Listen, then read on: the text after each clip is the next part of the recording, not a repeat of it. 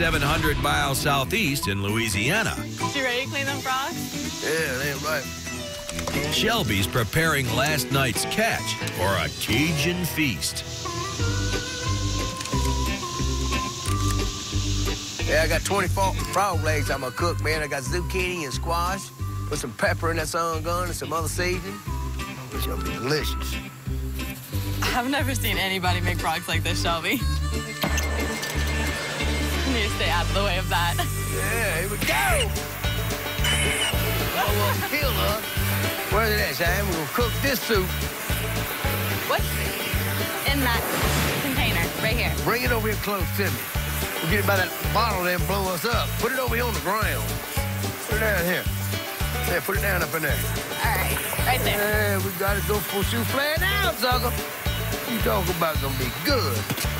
Put your glasses on, be blowing up around here. Oh, God. Oh, yeah. This is what you call sauteed frog. Sauteed frog. Yeah, with rosebud. Ow! Looking pretty good there, don't it? You can throw your lips up on this. I get them frogs hot with that, that cutting torch, man. Sear them, get them hot. It don't take long to cook it. Now take that, that pan.